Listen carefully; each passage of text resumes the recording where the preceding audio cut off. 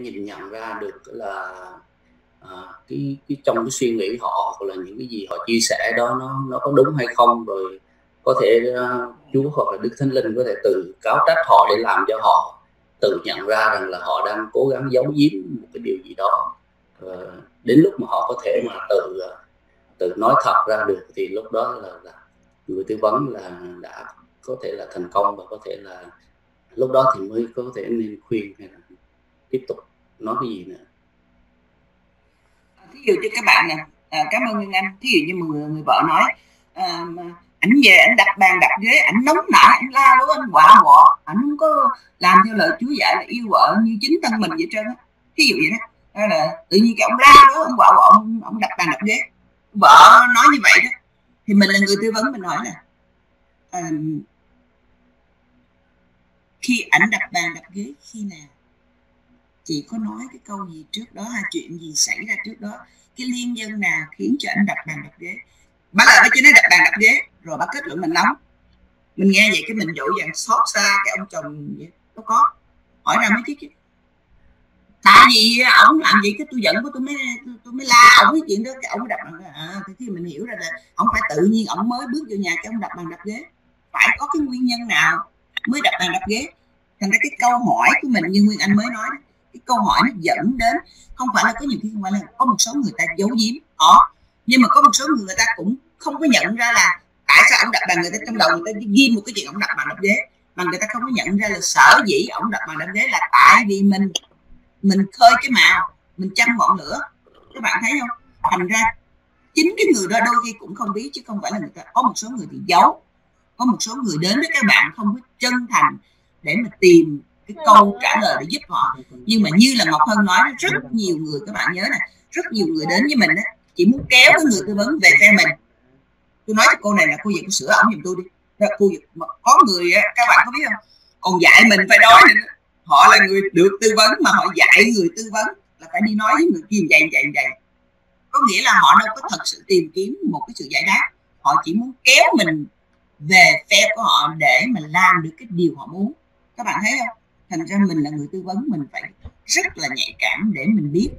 Và mình đặt những câu hỏi như như là nguyên anh nói mình đặt những câu hỏi để mình tìm ra ví dụ người ta nói là ờ à, ổng à, cô coi nè ổng đập ổng đập thằng nhỏ ổng đập đứa con ờ, ổng đánh đứa nhỏ vậy đó cô coi nè nó bầm tay bầm chân mình nghe là quảng hồn vía rồi. Mình phải hỏi là trường hợp nào mà ông đánh tại sao ông đánh? Rồi mình mới lòi ra là ông nói một lần, ông nói hai lần, ông nói ba lần là phải dẹp cái game đi ngủ. Mà nó ngồi đó hoài. Rồi ông nói bây giờ ba nói, không nghe. Nói không được, ba nói không được. Ví dụ như là mình phải hiểu được cái đầu đuôi ra nó dẫn đến cái cuối cùng ông mới đánh chứ không phải là tự nhiên ông đánh. Thành ra tự nhiên người mẹ chỉ là nói chứ, ông đánh con. Thì mình nghe vậy là mình đâu có hiểu ngọn ngành, cái đó là giống như là cái bề nổi thôi. Mình mới phải hỏi là lý do gì ông đánh? Khi nào ông đánh? Tại sao ông đánh? Ví dụ như vậy, cái chuyện gì dẫn đến ông đánh? Thì mình sẽ truy ra nó mới truy cái gốc được. Bây giờ trở lại vấn đề tư vấn đó. Cũng muốn nói với các bạn đó là như nãy là như ngọc hân nói là mình chậm lại một chút. Khi mình chưa đủ information. À, rồi phước với davi với quang với ninh có ý kiến gì thêm trong cái chuyện mà một người đến với mình mà mình chưa có tìm được những information cần đủ mà mình lại không tiếp xúc được trực tiếp với người kia thì mình phải làm sao? Nên mình, mình sẽ mới môn nên coi có, có, có thì quyền mới mới vào đúng không ai? Thì quyền dạ vâng.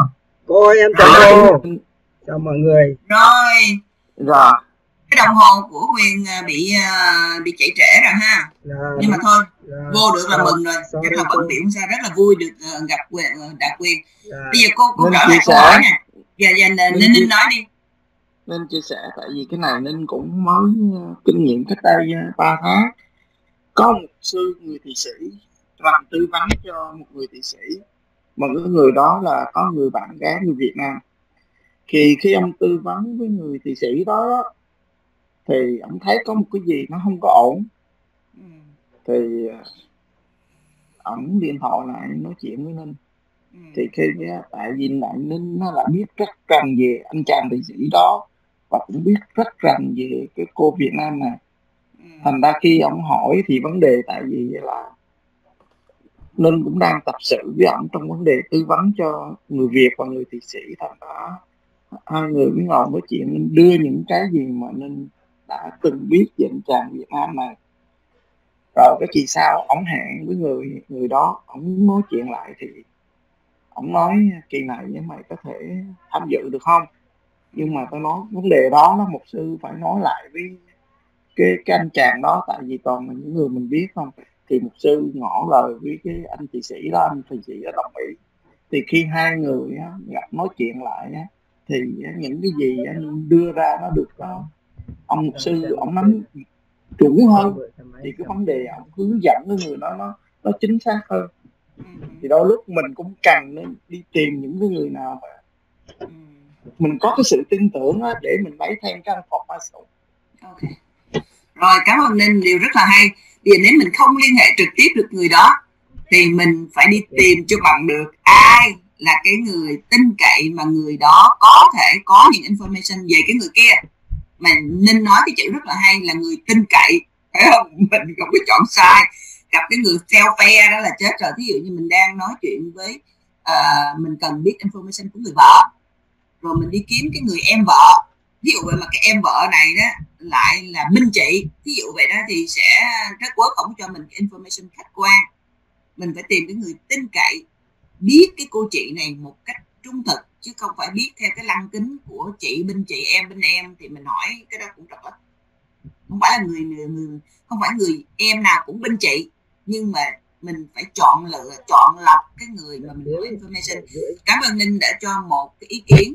Rồi bây giờ à, các bạn khác. À, quang điệp anh. Quyền mới vô con biết biết sự kiện gì không để cô hỏi. Tức là khi mà mình cần phải tư vấn một cái câu chuyện đó mà mình chỉ có nghe được một người vợ mà giờ mình không thể tiếp cận được với người chồng, hay là giữa cha con mà mình mình chỉ có, mình có tiếp cận được một người à còn người kia mình không trực tiếp tiếp tiếp cận được, thì mình mới nghe có nửa câu chuyện mình không làm được, thì ninh đưa một cái ý rất là hay là mình phải đi tìm cho được, ráng tìm ra cái người nào mà nó có trung thực tin cậy được mà biết về cái information của cái người kia để mình ráng mình lấy. Còn ý kiến nào khác không? Bạn khác nào có ý kiến gì không? Dạ em. Rồi mời điệp. Điệp phải không? À, xin lỗi à, xin lỗi trưởng trưởng. Cô nói lộn trưởng trưởng nói gì Dạ. dạ em có ý kiến về em sẽ tiếp tục tư vấn nhưng mà em sẽ dùng giả sử. Tức là mà mình không có thông tin dày mà mình chỉ nghe một thông tin một chiều á thì nó sẽ cho ra kết quả như vậy còn nếu mà mình có thông tin khác nữa nó trái lợi với cái thông, thông tin của cái người ờ, được tư vấn cung cấp á nó sẽ cho ra cái, cái kết quả khác như vậy. Mình đưa ra hai kết quả hoặc là ba kết quả gì đó cho cái người được tư vấn. Khi mà họ thấy như vậy á nếu mà cái trong lòng của họ thấy là à thì ra là có cái nguyên nhân kia nữa nó dẫn kết quả này thì tự động họ sẽ cung cấp thêm thông tin hoặc là họ sẽ chấp nhận những cái kết quả mà mình thiếu thông tin Ừ.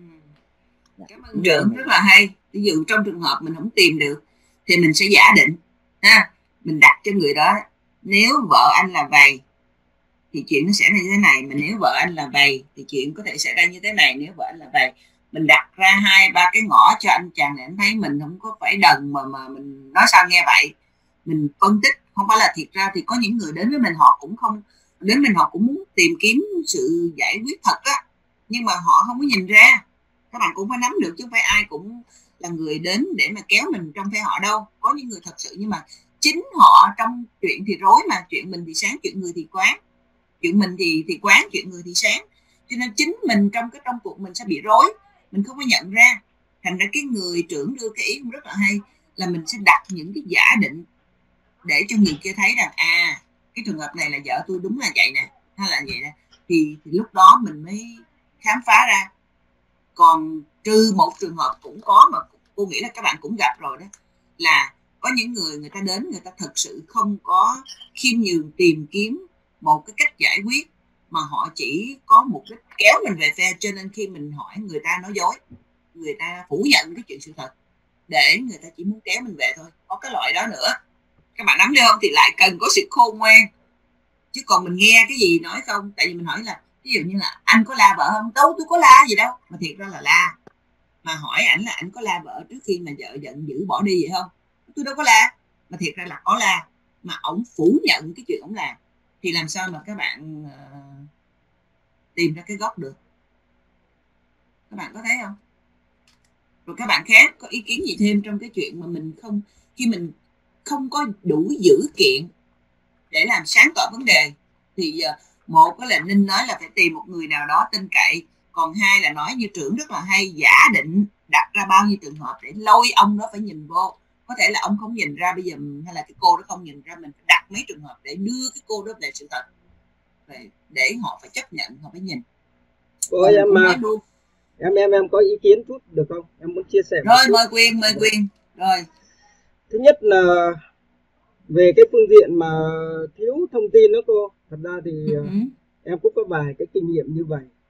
Thật ra để mà khai thác thông tin và mình tìm tìm thông thông tin đó em thấy nó không có khó. Ờ, thứ nhất là một cái kinh nghiệm mà nếu như mà chỉ thông tin một chiều thì luôn luôn mình không nghe không không không không giống như không khẳng định gì. Cái người tư vấn luôn luôn phải là ở trong cái khách quan nhất à nếu mà anh ờ, cung cấp như vậy mà vợ nói như vậy thì thì đấy là ý của người vợ thôi. Nhưng mà ý của người chồng có thể là khác cái cách hành xử người chồng hay là cái cái cái quan điểm của người chồng khác. Và và trong cái gia đình nó để mà có một cái cách mình tìm thông tin đó là cái người hàng xóm họ sống với cộng đồng. Thì khi khi cái cộng đồng đó là ít nhất là họ quan sát về cái lối sống đối với đại cái gia đình đó. Thứ hai đối với em thì uh, em vẫn đã áp dụng cái uh, cái phương pháp của cô về uh, về ngày xưa cô có chia sẻ về bốn cái cá tính ạ. Bốn cái cá tính mình nhận dạng bốn cái cá tính và từ bốn cái cá tính mình phát triển ra. Thì giống như là có những người mà cá tính của người đó xu hướng về hướng ngoại thì họ sẽ sẽ có những cái cái tâm tính hay là họ luôn luôn là lãnh đạo cái cái tư thế của họ là luôn luôn lãnh đạo. Nhưng mà cũng có cái cái mà người đó thì họ chỉ là cái tư duy của người giống như là ở đây em muốn nói rõ là giống như là người ta có cái ờ, cái hình ảnh giống như người lãnh đạo á, là cái người con hổ thì giống như là cái người mà có cái tư duy của con hổ là người đi ra ngoài người có thể kiến thiết một cái công việc nào đó và người có thể là khởi điểm trong cái công việc. Ờ, thì giống như mà chúa cô có nói là Fierre đó thì cái cá tính của Fierre nó giống giống như vậy và và cái cá tính của cái người mà có cái con kiến đó, cái cái cái cái bản tính á, thì giống như là cái người mà rất là cần mẫn rất là chăm chăm chỉ để mà làm cái công việc đó. Ờ, và khi mà họ làm cái công việc đó thì phải hiểu cái con người của họ ở trong cái ngôn ngữ của họ. Rồi có những cái người thì giống như là họ luôn luôn nói họ luôn luôn hình tượng hóa à, thì thì mình có thể học bốn cái đó để mình có thể phân tích giống như là mình có thể hiểu cái cái con người đang đối diện. Như đối với như em ấy thì thông thường là em em có có thể là tiếp xúc với họ sau khoảng 10 phút họ nói chuyện mình nghe mình có thể phần nào mình hiểu được cái cá tính của họ. Cộng với cái, cái thông tin giống như là mình có thể khai thác cái thông tin từ nhiều nguồn. Em nói thí dụ như hai vợ chồng thì họ sống với cộng đồng họ sống với những đứa con của họ thì cái người vợ nói như thế nào thì nói nhưng mà cái người con họ họ ít nhất là họ sẽ phản phản hồi cái cái ý kiến uh, của họ về cái người mẹ hay là ý kiến của họ về cái người cha. Và đó cũng có thể là một cái nguồn thông tin uh, để mình có thể lọc. Hoặc là là mình thấy là cái người mẹ của người đó người cha của của cặp vợ chồng đó mình có thể tiếp xúc. Uh, một cái nữa là mình có thể nói chuyện với lại những người sống xung quanh họ nữa. Thì căn cứ vào những cái dữ kiện đó thì mình có thể có những cái giả định uh, tốt hơn và cái tư vấn tốt hơn một chút. Rồi cảm ơn quyền. Dạ. quyền cũng góp ý. À, như nãy cô cũng kể cái chuyện đó là cô gặp người con cô gặp người con trai ở tiểu bang khác cô gọi phone để cô get information. Tại vì họ sống chung nhà thì họ sẽ có cái nhìn đó thì mình tổng hợp lại. À, rất là cảm ơn quyền. Các bạn nào khác có ý kiến gì nữa không? À, nên có góp ý chút nên nghĩ nên nói lại nó giống giống như cái ý của của thầy của thầy ninh hồi nãy đó. Nhưng mà cái cách thầy ninh trình bày nó có vẻ nó hơi có tính khiêm nhường cho nên nó hơi khó thấy. Thì là như cô tiết nói cái máu chốt ở chỗ là mình phải có kinh nghiệm. Chứ còn nhiều khi có người họ đến á, họ đến họ rất là thật lòng họ bỏ hết information lên bàn rồi chứ họ không có thiếu họ không có họ không giấu cái gì hết. Nhưng mà cái vấn đề máu chốt mình vẫn không có nhìn thấy được. Thì á, cái, cái, cái, cái, nguyên tắc là mình phải có kinh nghiệm. Thì như cách thầy nên nói là lúc này mình mình có đủ thông tin rồi nhưng mà mình vẫn không biết được cái bản chất vấn đề là cái gì á, thì khi đó là lúc mà mình cần phải đi tìm một người tư vấn cho mình. Mình đi tìm một người nào mà có kinh nghiệm để mình trình bày lại. Nếu như cái khi đó nó hơi khó cho mình. Ok, là nên muốn nói lại cái ông ờ, cái ông mục sư người thụy sĩ đó. Sau khi nghe cái ông người thụy sĩ lại xin tư vấn, thì cái ông người mục sư thụy sĩ nó đi kiếm ninh đó để để get information. Thì đó là một cái một cái ý ờ, mà mình nên chỉ muốn nhắc lại về cái ý của ninh rất là đúng là như vậy đó. Là nhiều khi mình ờ, mình có những cái trường hợp mà mình có thể tìm kiếm thì tùy các bạn nhớ cô nói đi nói lại hoài tư vấn là gì? Sáng tạo linh động và cá nhân. Các bạn có nhớ hoài đừng có quên ba cái chữ đó tại vì mình không thể đem cái cây mình thành công rồi. Ha cái đường này có bộ quớt cái mình bưng cái chiêu đó mà mình áp dụng cho cái cặp vợ chồng khác là nó trớt quớt. Không được. Tại vì mỗi một người là như nãy quyền nói cá tính khác suy nghĩ khác background khác mức độ cái hoàn cảnh hai vợ chồng lục đục. Mà hai vợ chồng lục đục của cái cặp này với cặp vợ chồng kia lục đục đâu có giống nhau chút xíu nào đâu. Thấy không? Thành ra mình không có thể áp dụng uh, một chiêu cho mọi người được. Nhớ, tư vấn là sáng tạo, là linh động và là cá nhân.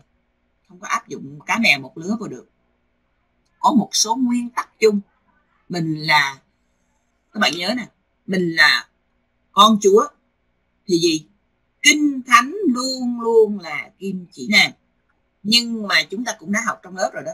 Biết bao nhiêu ông mục sư không học trường lớp về tơ vấn gì trên có cuốn kinh thánh nè ta có một cái chuyện gì xảy ra, cái là bưng của minh thánh đập lên đầu người ta cái là người ta đã gần chết rồi, người ta chết luôn, chứ người ta không có được chữa lành gì hết trơn.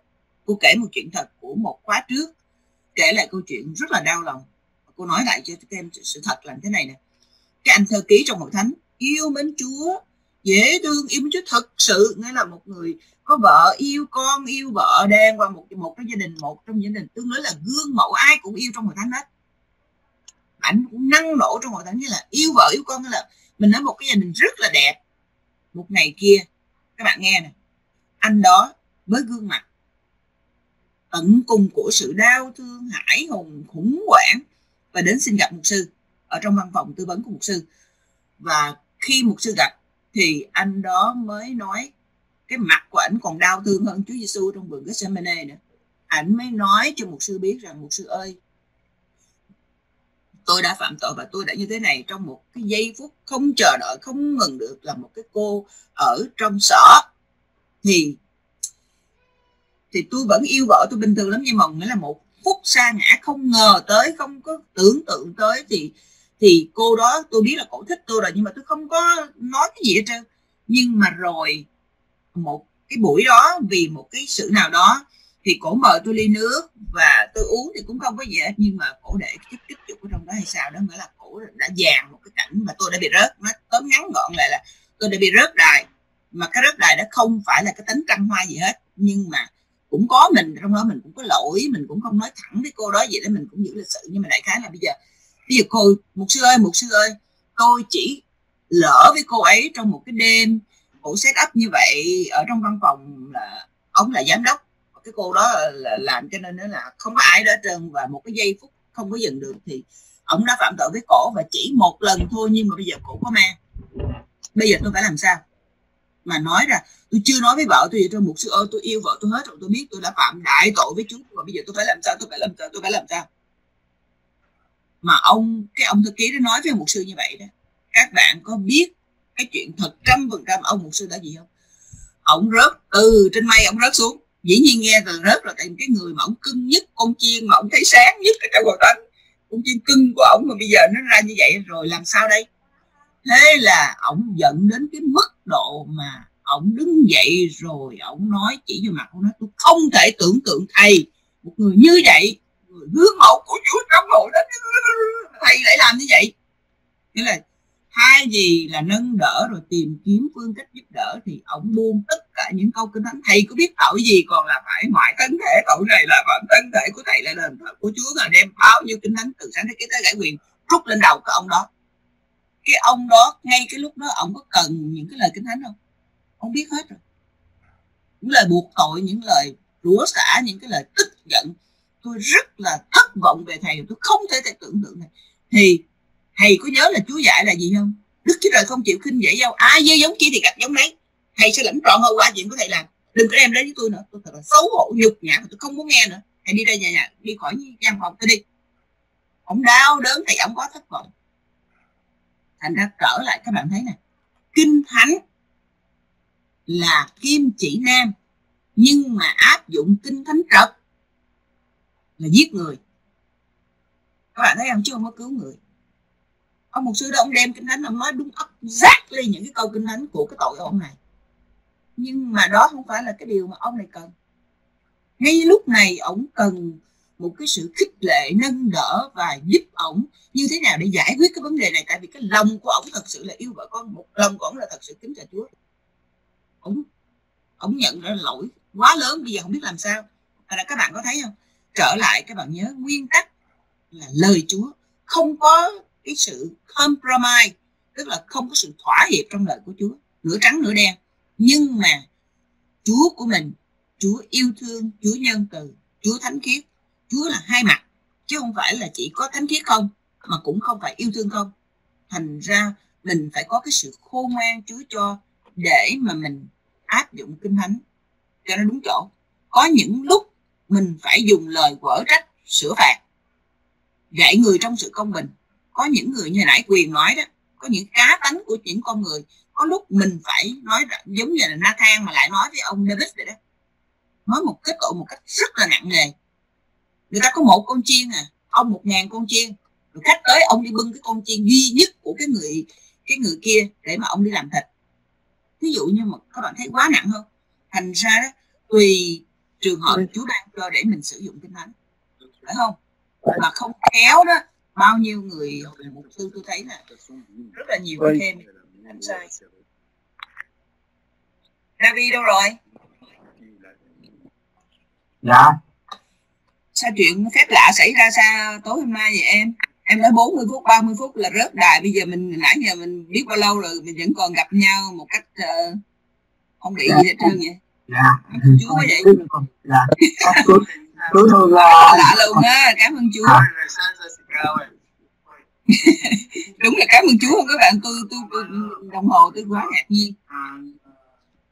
À, rất là vui được gặp các bạn. Nếu mà chúng ta nói thì chắc là chúng ta nói đến cả đêm cũng không hết giờ. Nhưng mà tôi ờ, tôi chỉ muốn nói với các bạn vài điều là rút lại là tư vấn mình mang tấm lòng của Chúa. Nhớ cái điều đó phải không? Và mình không thỏa hiệp mình không thỏa hiệp tội là tội. Nhưng mà mình phải biết là tùy chuyện có tùy người tùy lúc. Có những người cần sửa trách gỡ gỡ trách sửa trị một cách nghiêm minh. Mình dùng lời Chúa để mình là, là giống như là đâm thấu hồn linh cốt tủy của người đó. Nhưng mà cũng có lúc lời Chúa là sự chữa lành. Thành ra mình sẽ dùng lời Chúa cái lúc nào cái chỗ nào cái câu nào với cái người nào với cái thời điểm nào lúc nào là mình cần phải đánh cái roi của Chúa, lời của Chúa. Chúa nói là gì? Này là kẻ mà ta đói đến. Đó là kẻ có lòng ăn năn nghe lời ta nói mà ruông. Các bạn thấy nhớ cái câu kinh thánh đó không? Đây là kẻ mà ta đói đến. Kẻ có lòng ăn năn nghe lời ta nói mà ruông. Thành ra mình sẽ xin Chúa. Cô nói với các bạn nhiều lần rồi. Trong khi, trước khi tư vấn, trong khi tư vấn và sau khi tư vấn mình vẫn kết nối với nhà tư vấn đại tài của mình. Mình chỉ là cây viết chì trong cái tay của Chúa thôi. Cái gì cũng chạy lên hỏi. Thì ta Chúa chưa cho, cho con khôn ngoan cho con lại là chỉ chỉ chỉ cho con. Chứ đừng có nóng lòng hỉ nộ ai ố con người thật của mình ra rồi cái mình mình sẽ sung lên để mình nói theo kỹ riêng lại là thật nữa. Mà mình dễ vô cái chuyện đó lắm. Các bạn thấy không? Rất là dễ để mà mình mình nói cái ý riêng của mình lắm. Mà các bạn phải calm down một cái người hầu vị Chúa trong cái ngành tư vấn rất là calm, rất là bình tĩnh và rất là khiêm nhường để biết rằng Chúa con không làm gì được. Mặc dù cái lời nói của mình nó đúng trăm phần trăm, các bạn có kinh nghiệm, có ơn Chúa, có khôn ngoan, nhưng mà lời nói của chúng ta cũng sẽ không có một năng lực gì hết. Các bạn chỉ nhớ một điều, chúng ta không có một chút năng lực nào. Chỉ có lời Chúa và chính Thánh Linh đụng tới lòng người ta. Cho nên khi mà trong khi nói thì Chúa ơi hướng dẫn con và Chúa cũng cảm động lòng người đó khi các bạn tư vấn một cái case nào, không phải chỉ cầu nguyện cho các bạn có sự khôn ngoan, biết nương cậy nơi Chúa, mà các bạn cũng phải cầu nguyện cho cái người đó để thánh linh đánh động lòng người đó, mở mắt người đó để người đó cũng nhận ra Chúa đang nói cái gì. Mình chỉ là cái công cụ Chúa sai đến thôi. Để người đó không phải nghe là ở đây là ý kiến của anh Quang, đây là ý kiến của thầy Điệp, hay là thầy Phước. Mà là, đây là ý của Chúa cứ chỉ mượn, cái mượn, cái miệng người đã nói với mình thôi. Các bạn nắm được không? Thì làm sao để người đã nhận ra được điều đó nếu không kêu cầu chính đấng thánh linh, Chúa thánh linh đụng tới lòng họ để họ nhận ra điều đó? Và mình chỉ hoàn toàn là cái cái micro thôi, mình chỉ là cái viết chì để Chúa viết ra thôi. Cái tác giả là người, cái cạnh là cái tay cầm cái viết chì chứ không phải là cái viết chì. Cho nên mình nắm được cái đó thì nó sẽ có thành công. Còn nếu mình nói rồi người ta cũng không làm. Hoặc là người ta đi con đường đi lên hai, ba ngày. Rồi một lâu lâu mình hay lại là đi xuống con đường tức lúc hai đứa vợ chồng kéo hay đi xuống con đường xuống nữa rồi. Đi lên, đi xuống. Người chọn con đường đi lên không có nghĩa là luôn luôn đi lên. Các bạn thấy chính tôi và các bạn cũng rơi trong trường hợp đó. Mình đi lên được hai, ba ngày, cái bà vợ bà tống còn là chua, cho uống còn là ly nước chanh không đường gì đó không? Cái mình mỗi khùng con người mới là mình lại có cọp. Hành xử lại như cái con đường đi xuống các bạn thấy không? Rồi chúa cáo trách cái mình lại bò lên con đường đi lên. Còn có người mới nghe thì lại chọn con đường đi xuống. Nhưng mà sau đó chúa cái trách lại bỏ con đường đi xuống đi lên. Các bạn có nhớ câu chuyện chúa sư kể không? Chúa kêu hai người ra đồng. Thằng con trai nói dạ dạ để con đi. Không đi gì hết. Còn thằng nhỏ nói, thôi cũng đi đâu. Nhưng mà cuối cùng thằng nhỏ đổi ý đi. Các bạn có nhớ câu chuyện chúa sư nói không? Thành ra ngay chính mình cũng vậy nữa. Chính mình cũng đổi ý. Chính mình cũng là, mình đâu phải là thần mang hình người cho nên nhiều khi mình chọn con đường đi lên rồi xong chính mình cũng có tọt tọt xuống con đường đi xuống. Có lúc chứ mình cũng hành xử mình cũng nói năng tùm lum tà la. Nhưng mà ngay cái lúc đó chú cáo trách mình mình lại ăn năn rồi mình lại bò lại con đường đi lên. Đó, các bạn thấy không? Nhưng mà có những người khi mà các bạn tư vấn người ta nghe người ta chống đối các bạn người ta không có tỏ vẻ gì là ờ, ờ tôi cảm động quá tôi, tôi chọn con đường đi lên gì hết trơn đó là người ta chọn con đường đi xuống cũng đừng có nản lòng tiếp tục cầu nguyện như người ta. Anh đi đi xuống vậy đó nhưng mà có khi tháng sau tuần sau mình hay lên là người ta đã bò con đường đi lên rồi.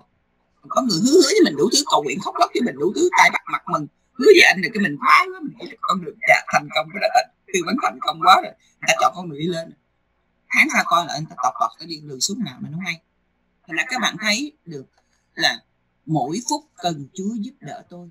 Nương nhờ cánh Giêsu hoài.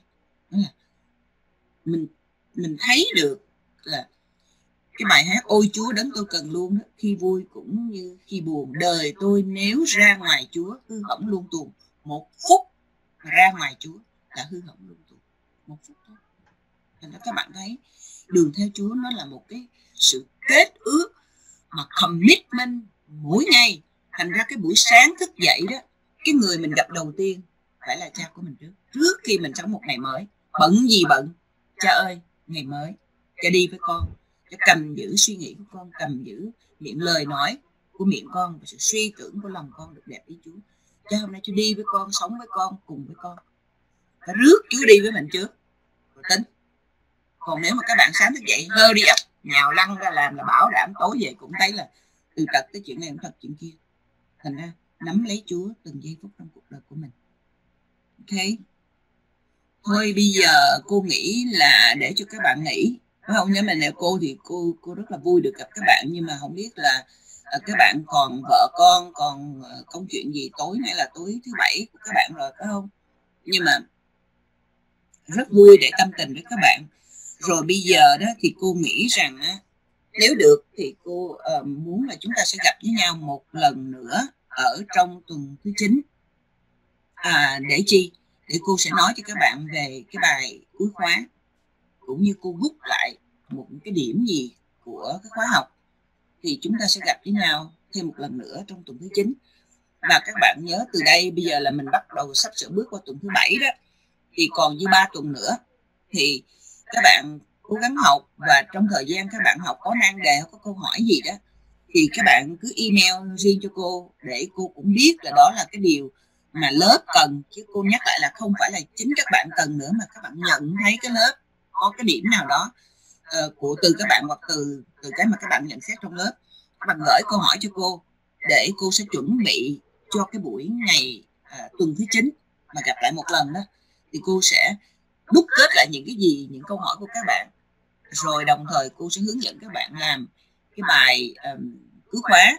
Và đồng thời nữa cô cũng bút lại những cái điểm mấu chốt nhất mà những cái điểm cô không có nói được nhiều ở trong lớp để mà các bạn có rời khỏi cái lớp này các bạn có thể không có nhớ gì cái ông khô linh nó nói tràn gian đại hải bốn năm trăm trang đó.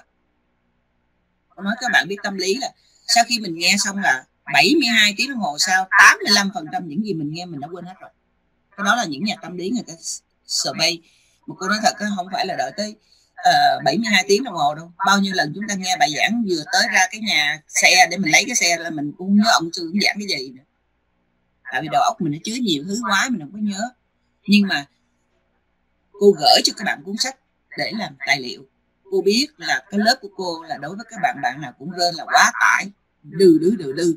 Người nào cũng ngồi ở trên uh, ngồi trên uh, máy là cả năm 10 tiếng đồng hồ. Cô biết cô biết hết á.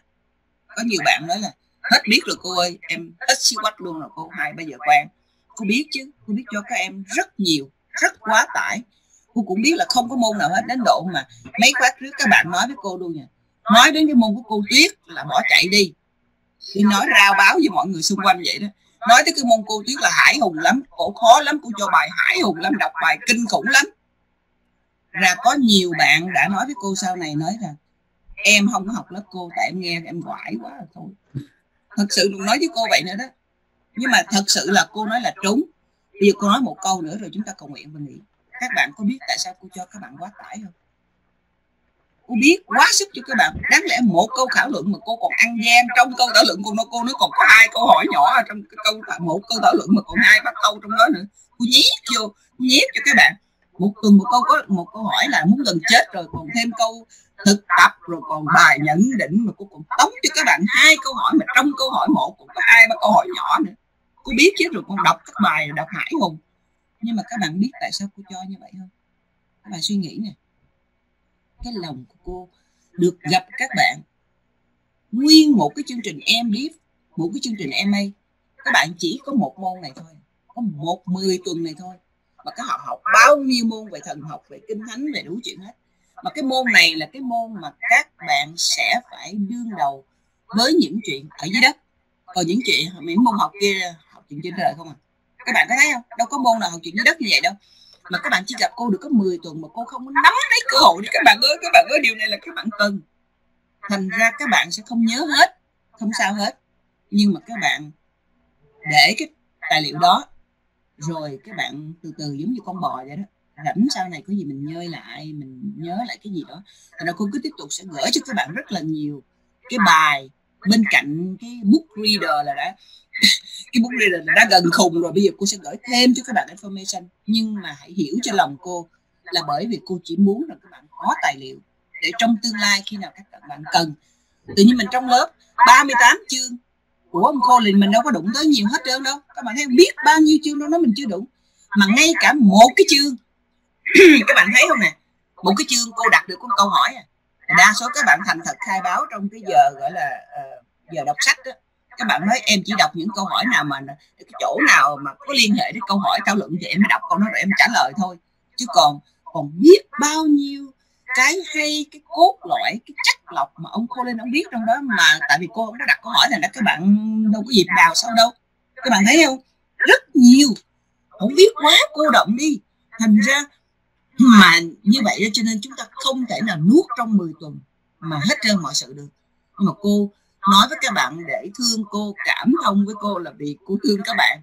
Cô biết rằng đây là cơ hội duy nhất mà cô cho các bạn những cái điều cần thiết những chuyện thuộc về đất. Còn cái môn khác thì nó lên từng mây không à rồi cái kiến thức nhưng mà các bạn là cái môn thực hành. Mà nắm được cái điều đó để uh, tha thứ cho cô. Nếu mà cô cho các bạn quá nhiều bài làm cho các bạn cũng quải luôn. Xin Chúa thêm sức cho các bạn còn 4 tuần nữa. Và nhớ là nhận được bao nhiêu thì cảm ơn Chúa bấy nhiêu, còn bao nhiêu thì cất lại, rồi lâu lâu đem ra sử dụng. Và những gì mà các bạn có thể quên hết, ông nói mình cũng nhớ chính cô cũng đâu có nhớ hết tất cả những gì ông Colin lên ông nói đâu. Nhưng mà mình nắm được cái linh hồn, mình nắm những cái điểm chính của một người tư vấn là như thế nào. Phải không? Như vậy là là cô thỏa lòng lắm rồi, chứ cũng không mong các bạn phải phải làm sao mà nắm hết được cái chuyện gì bây giờ một câu hỏi cuối các bạn nào còn thêm một cái ý nào nữa không? Nếu không thì chúng ta sẽ à, cầu nguyện. À, cô rất là vui được gặp à, mặt bây giờ mới biết mặt nguyên anh ra làm sao là đó thì nó có biết đâu.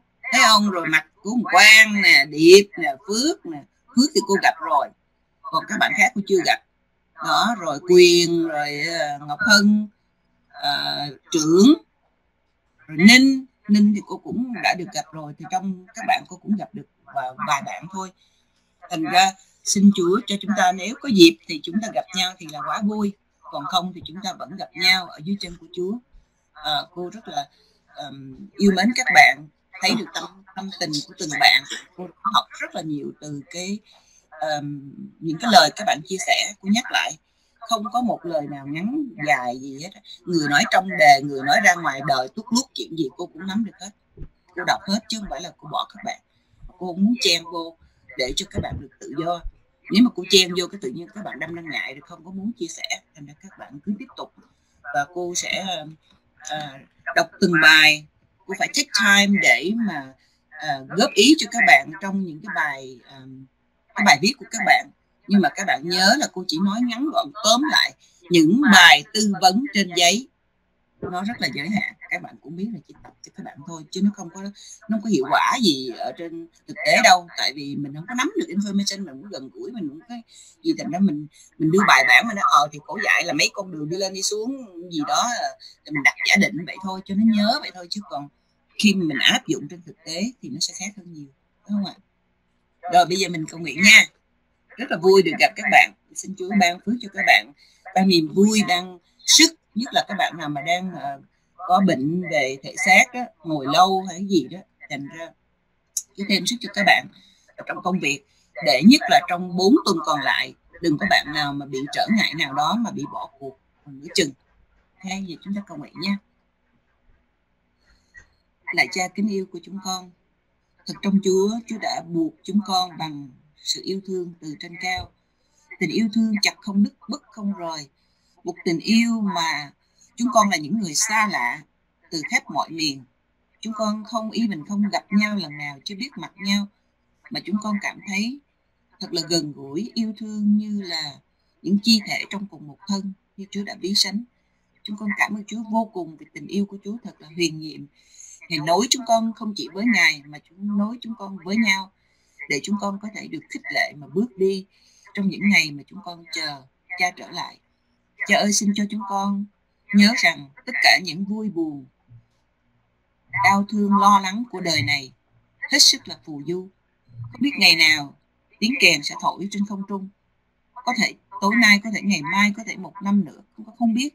Nhưng mà cha ơi hãy cho chúng con biết rằng ngày nào cho cho chúng con còn sống là một ơn phước diệu kỳ để cho chúng con có cơ hội chúng con tập tành trở nên giống cha của chúng con. Chúng con cơ hội có cơ hội để chia sẻ những gánh nặng của um, những người xung quanh của chúng con. Chúng con học được cái tâm tình của Chúa và chúng con muốn trở nên giống Chúa. Đó là cơ hội Chúa ban cho chúng con.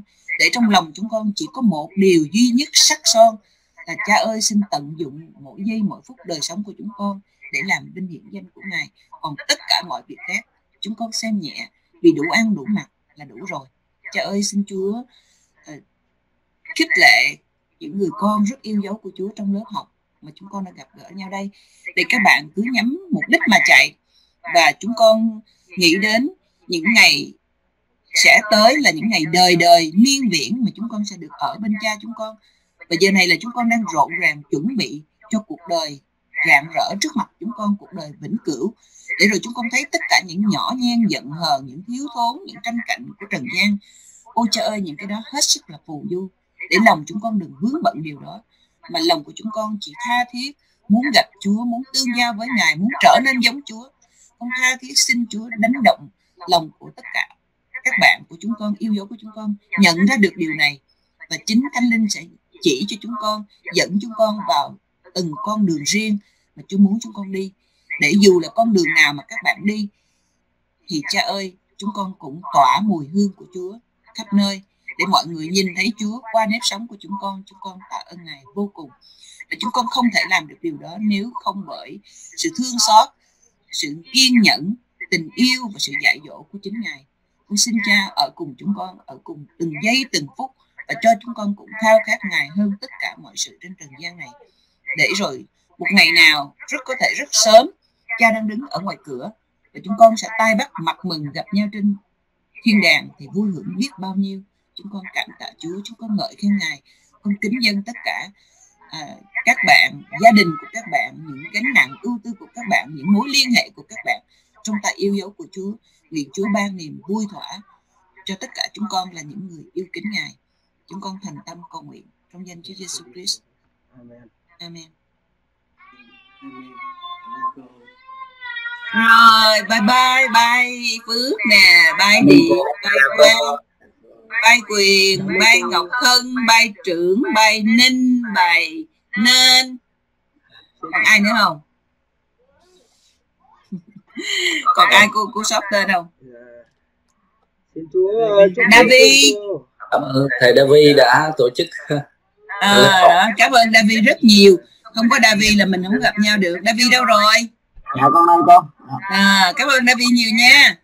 À, rồi còn mới, giờ thêm mới, mới, mới có hai rưỡi sáng này à, tiếp đi rồi đó à, các bạn các bạn phải thấy một điều một sự hy sinh vô cùng của David là David là cái giờ gặp mình là nửa đêm bây giờ là 2 giờ sáng. Trong khi các bạn chọn cái giờ tốt nhất cho các bạn là giờ 7 giờ rưỡi tối cô cũng là từ 6 giờ rưỡi sáng mà lúc đó thì cô cũng dậy rồi nhưng mà các bạn thấy không? Rất là vui được gặp nhưng mà cũng cảm ơn David một lần nữa. Còn mấy phút còn mấy tiếng đồng hồ nữa thôi ngủ cho ngon nha David Dạ. rồi à, sẽ gặp lại các bạn à, à, tuần tới. Chúng ta sẽ nói về chuyện thanh niên. Và mong rằng qua cái chuyện này các bạn sẽ nhớ lại một thời vàng son của mình tuổi thanh niên. Và đồng thời cũng có chút kinh nghiệm nào trong tuổi đó để chúng ta sẽ à, học cái bài thanh niên cho nó thiệt là tốt. Để rồi mình nhìn lại con của mình những bạn trẻ chung quanh mình. Và mình sẽ có thể giúp đỡ các bạn. Đừng có ngã những cái gì mà mình đã ngã phải không? Cảm ơn các bạn một lần nữa nha. Cảm ơn quyền rất là vui gặp tất cả mọi người. Rồi chúc ban phước cho các bạn. Dạ. Tôi chào các thầy. Các bạn. Dạ. rồi. Lưu luyến chia tay hẹn ngày gặp lại tuần chính. Dạ, dạ. Xin Chúa ban phước này cho cô. Dạ.